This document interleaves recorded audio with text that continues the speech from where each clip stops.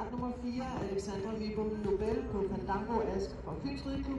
Start nummer 5, Sara Albus. Og start nummer 6, Bettina Møller Jensen holder sig klar.